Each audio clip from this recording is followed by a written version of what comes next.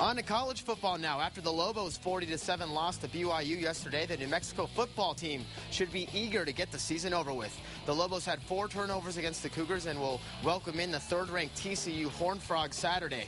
TCU is coming off a bye week and will be looking to make a statement against the Lobos in the final week of play.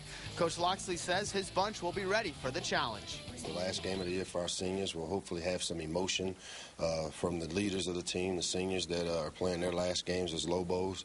I'm hoping some of these young guys can uh, find a way to dig deep and, you know, knowing that the end is near for this season.